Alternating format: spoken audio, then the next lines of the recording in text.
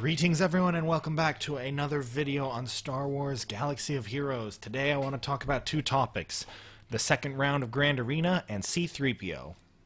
So 3PO has been released, his kit is out, and holy buff and debuff, he is going to be annoying, but there's a caveat, only a handful of people are going to have him unlocked because the Murder Bears need to be geared up pretty heavily to take him out. They do not release these ridiculous packs without a reason. And that reason is that you're going to need some serious Ewok power. They've said it's going to be an extremely difficult event. This reminds me of Chewbacca, the other recent original trilogy character. And Chewbacca is in this event too. So I think it's going to be extremely difficult, that level of difficulty. So not a lot of people are going to 7 star him. And I think that people are just going to get floored, which is good because he changes the game so badly. Like he is going to break teams because he is support, he is resistance, droid, and rebel. And while it's not listed in his tags, he is an Ewok god character. He is he, like Ewoks get double his uniques, and he has five. Like that's that's kind of insane. So that's that. I will again, I will not be doing it. Yes, he's got a meta breaking kit.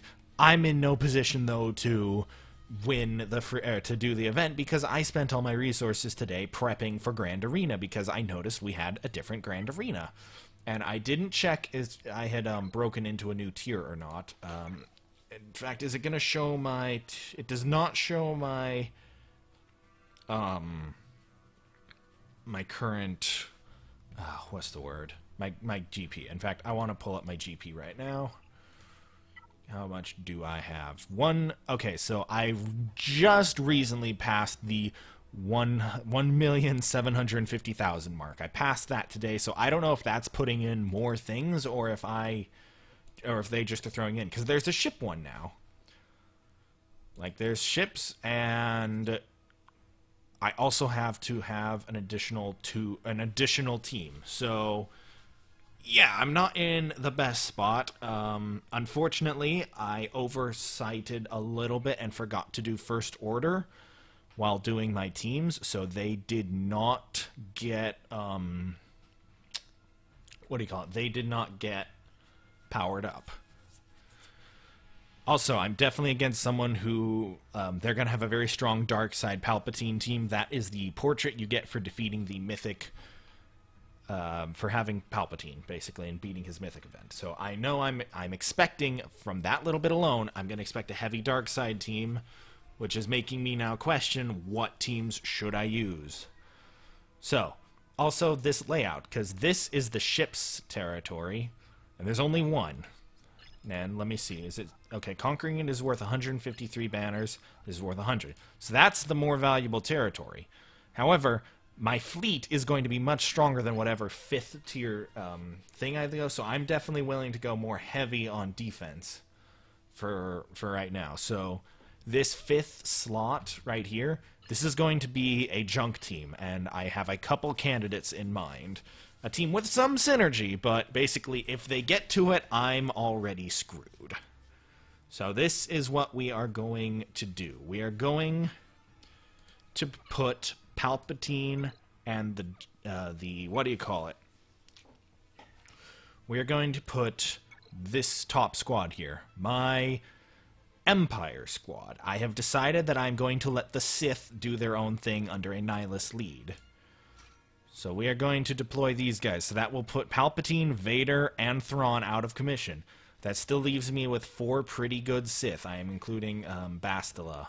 Although she is further down, she is still powerful, I gave her a bit more gear since the last time, and I also powered up some other characters. So Bastila is good, and I'm thinking Enfys Nest might actually make a good fifth for that team just because she's really strong. I've also been considering using her on defense. I've got options.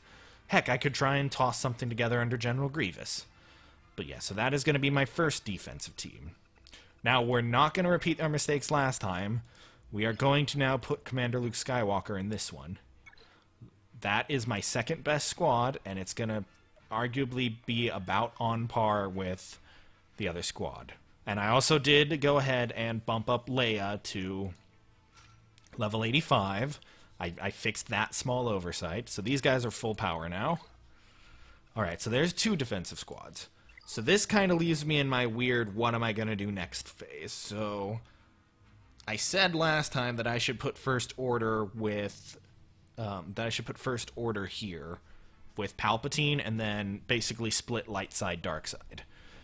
And I'm thinking I will still do that in the sense that I'm now going to go put um, my Jedi squad here and I'm going to once again swap out Ezra for Qui Gon Jinn because, yes, I'm losing some power, but I'm not losing a whole lot. We were at 83 before. Adding in Qui Gon, we are at 78. So we lose about 5k, and part of that's in the form of a Zeta. But I think that as far as like swap outs go, this is pretty good. Hermit Yoda is also getting much closer to 7 stars after the last territory battles. I've got him at 50 out of 100. We're closing in. I can feel it. Alright, so there's that. So now the last question will be who goes with the Palpatine? Since this is, um, what do you call it? Since I'm using Palpatine not as Sith, but as Empire, he's not going to be as strong, obviously. But my First Order squad is just not cutting it right now. I mean, look at this. There's two characters. If the officer had been fully leveled, he would have so much more power than, hell, even Phasma. But I'm just not convinced on taking the team as is. Here's what I am thinking. Because if we look at the leader, First Order has crit and speed. So, like, that's a pretty good turn meter feed. But I just cannot justify sending those two. So I'm going to instead fill their ranks with a couple fill-in characters. So I don't have a whole lot of dark side outside of the bounty hunters and the uh, night sisters, but what I do have is Geonosian Soldier and General Grievous. So this will definitely be an...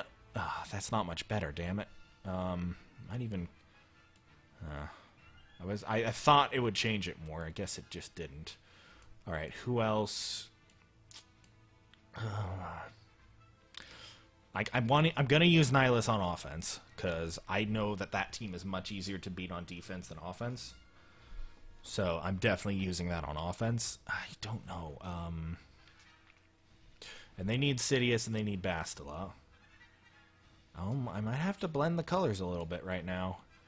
Who do I not use? I don't use the Jedi Consular. And I'm not using Ahsoka.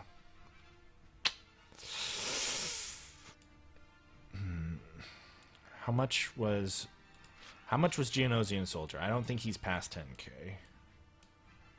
Oh, BB-8 might be a good one, too. BB-8 pulls more than his weight. So we're going to do BB-8, and we're going to do... Who did I want to throw with Ahsoka? It was Ahsoka, and I think I was thinking Boba Fett. I don't know. I was gonna try not. I was gonna try bounty hunters on offense today. So, yeah, I think we're gonna do this. Unconventional, but should pull its weight pretty well. BB-8's a really good support, and Ahsoka does bring some heals. So the other two, again, it's still mostly counting on the two Kylo Rens. But there we go on that. And now, having made up my mind about the defensive squad we're going to put here, this one is definitely the, I don't want them getting here, but I need to fill the damn slot. So we're going to go ahead and put in the Imperial Troopers. If they get to this, they get it for free. I'm I put Palpatine in front on defense because I want him to win. Now, let's talk about this, the ships. What am I going to do for ships? I don't exactly get to pick squads. I get to pick this. So, Thrawn is the obvious choice for defense. I don't want to lose. And I think my Tarkin is pretty damn good on offense. So, we're going to do something really different. I'm going to still save my best offensive, uh, some of my best offensive ships and we are going to instead put a real nasty defensive combo with a bunch of my secondaries. So we're going to give them that, that, and I think this is Geonosian Fighter, but we're going to give them Houndstooth as well. Houndstooth may not be that strong, but again, it pulls more than its weight. And then I still have my proper offense team ready with Tarkin. Because I, again, up until I got Thrawn to seven stars, I was using Tarkin like it was nobody's business. So Tarkin will pull his weight on offense. Most would argue Tarkin is the stronger offense, and Thrawn still works wonderfully even on a light side team. And then the synergy between Ghost and uh, Phantom 2 is extremely strong, and then the Jedi Consular gives them some added survivability and an extra couple attacks, and some extra defense if the target lock goes out. So this is a pretty solid defensive squad. This is going to be my defense for the Territory Wars. And then if we go to just pick a random battle because I want to look at my squads. And then if we look at my my remaining squads, I still have Bastila. Like I've got Bastila. Wait, did I forget to put down Bastila? Hold on. Wait, did I? I meant to put down Bastila. Did I not put down Bastila? Right. Shoot, I can't. Okay, sorry. I totally forgot. It's like I. Why can't I see? I know. I know. I'm at max capacity. So. Um, it might be easier if I just do it like this. So, I spent most, or not most, of but I spent a lot of time working on the Night Sisters and my Bounty Hunters today to try and get them both ready to go. And now my Night Sisters have five characters at level 85, and I went through the trouble of getting some gear on them and putting in a lot of um, abilities. I did hold off on doing all of them to 7, which is kind of what I was thinking I would do you know, get all of this up to seven. And again, I'm just ignoring Daka's leadership because I don't need it. it. It adds ghost power. I put mods on, but I didn't have enough um, money to level them all up. And in fact, I could even do something like up do like do blighted touch because I've got I've got omegas to spare. My main thing is the fact that I've got what do you call? Do I just not have the? Oh wow, I just don't have the credits for feed. Where is Talzin? I'm almost ready for a Zeta. I am one or two days away. Tomorrow is ship uh, materials day, which has very. I, have got a chance of getting two, even four Zeta mats. So I was holding off on this, and Asajj gets the next Zeta. So that's going to put her really, really high on my power list because she'll have two Zetas because she already has one on her leadership. And then she'll have Rampage, which just makes her an unstoppable killing machine. So that's the goal there. Double Zeta Asajj. Like that's that's the next goal. After that, I'm probably gonna do um, the. Well, you don't have one, right? Yeah, that's not a Zeta. That's not even an Omega. Wait, no, that was a leadership. One of these I could have sworn was a Zeta. Guess not. Then the next one will be Talzin's Plague Bearer, just because, you know, it's good. It's it's an okay. It's not great. Like this is great, but we're not picking her for her leadership. We're picking her for the Sith raid. That is what I plan to use Talzin for. So I spent time going over all of them, powering them up. Thought about doing Acolyte, but I ended up deciding against it just because, again, these are going to be a Sith heroic team.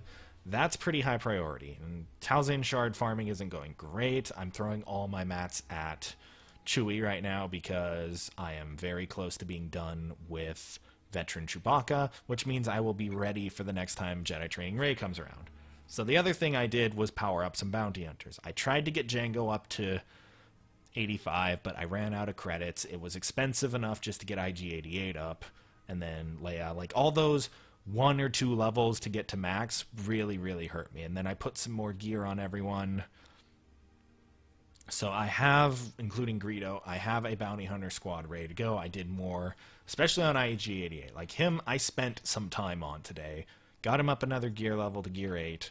Got him most of his abilities ready now, uh, ready upped. Even put another level into his payout. Again, don't have the credits at this point, and I don't feel like that one quite um, quite benefits as much. But yeah, rapid fire, I could do Mortal Wound. I'm thinking about doing Mortal Wound, but it's too late now.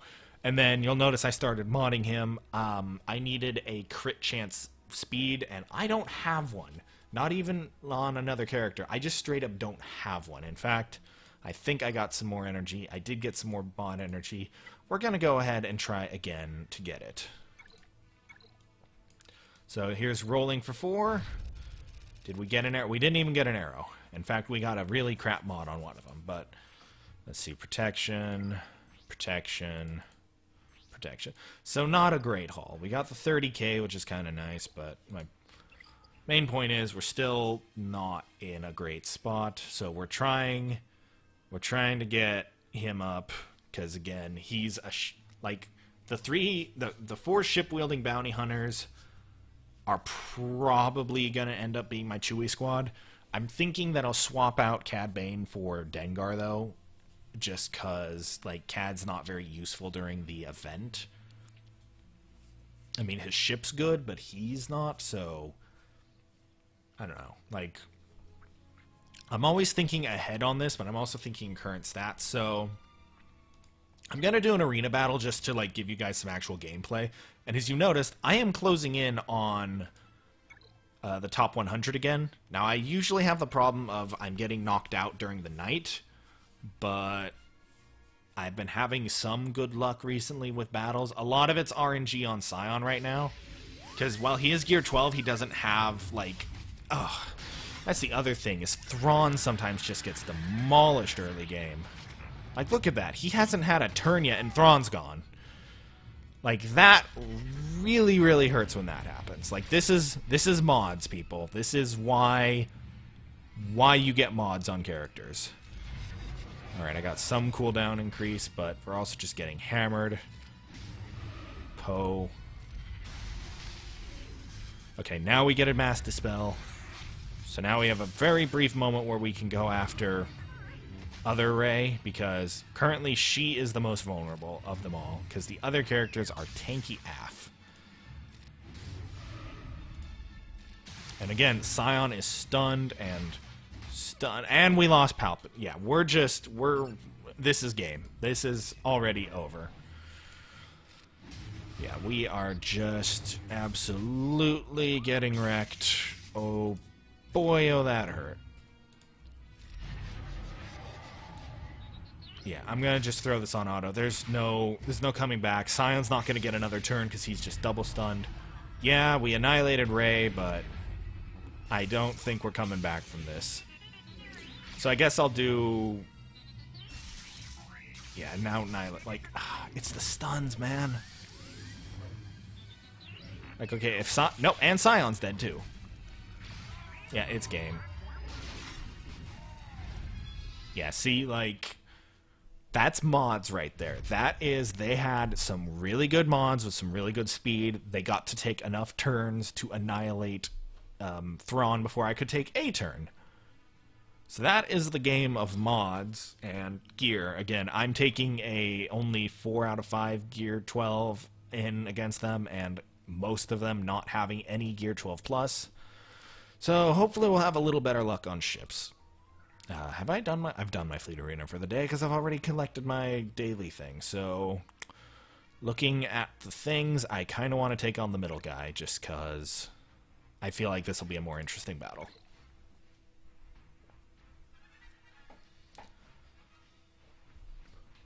One thing I do like about these videos, even though I've only been doing them for a couple weeks now, you can track like my progress in the game through them because you'll notice every time you pop into the Okay, so none of them are innately tanky, so we will go after Vader.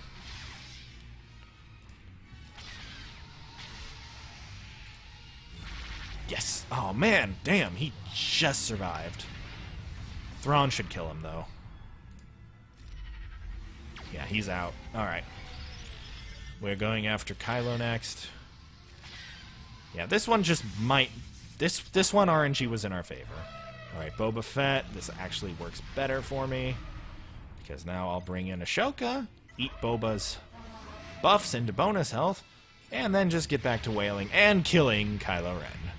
So now we'll go after Boba. Yeah, the Millennium Falcon's really annoying when it has that buff, so I actually prefer to just kill it. Like, if it comes down to one character left to use uh, Thrawn's ultimate on, it's going to be the Millennium Falcon. Yeah, we're just gonna go for the kill. Dead in the water. Oh, sweet. We didn't even need to. Okay, that was a good round. What probably happened there is this guy was climbing to his max for the day, and, well, again, partially RNG is just on my side, and I think his setup works a little better under control. So I'm going to go through the shops real quick, and then that's that. So I did also max out a second, well, I didn't max out, but I've got a second seven-starred Geonosian ship now, so Spy is done. And both, I think, for character and... No, not character, but Geonosian Spy's ship is done, so I am going to start testing them out on the, what do you call them, the nodes, because the Geonosians work really, really well on... Ooh, what's this? Ooh, sweet. We might get a piece of gear on Nihilus. What else do we got? Uh, Carpenti, or Circus Cuff. Uh, ooh, that's always a good deal whenever you see that. Because that tells me it's a piece I use a lot.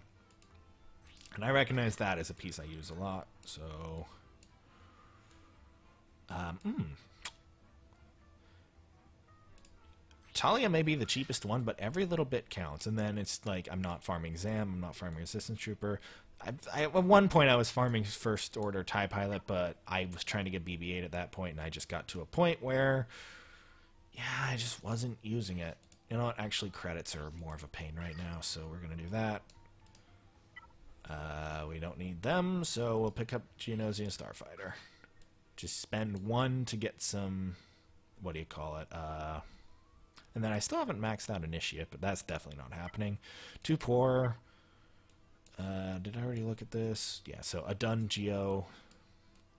Another Geo. So I'm actually at the point now where I'm going to start use, uh, saving up and just doing Zeta mats because like I don't I'm not actively farming most of the other stuff and this would speed up Zeta acquisition greatly which would allow me to power up a lot of my other teams.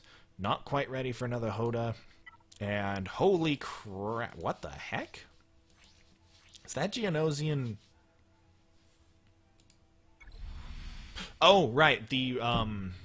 There was an event earlier, uh, Battle the Separatists, and I got a lot of Sun Fac, except for on my last one I got a lot of Geonosian Soldier. So that was that. Alright, what's at the bottom? Nobody has any of that, so we are going to sit because only Nihilus needs that, so there's no point in gathering more, and I have 1100 of that.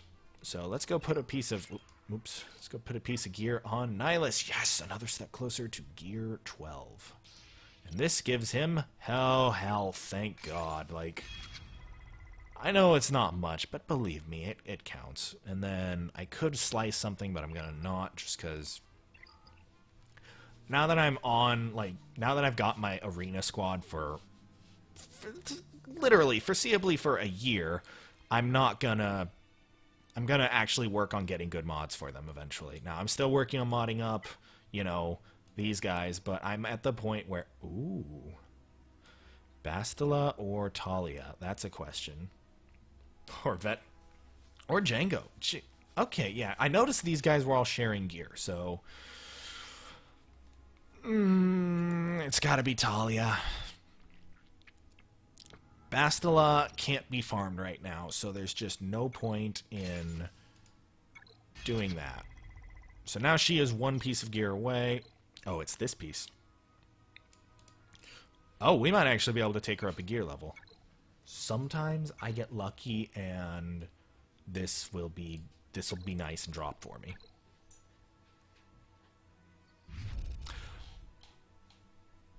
Damn, that's good luck. We're taking Talia up a gear level. Talia is officially Gear 8. And immediately upon arrival, we have some stuff to put to take her towards Gear 9.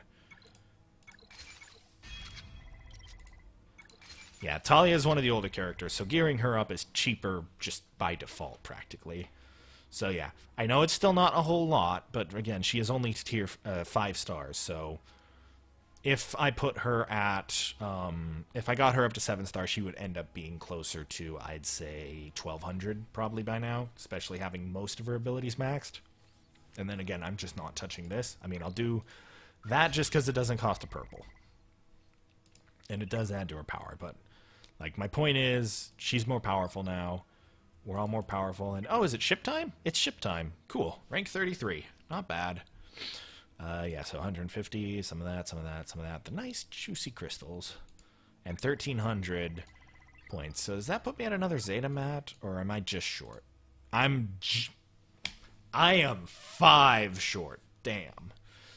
And I was actually thinking about pushing, but... Okay, I've rambled on on this. Definitely, definitely gone a little further than I meant to on things, but hey, you know what? It's it's a game I like to play. I'm not just playing it to make videos. Like I'm playing to play.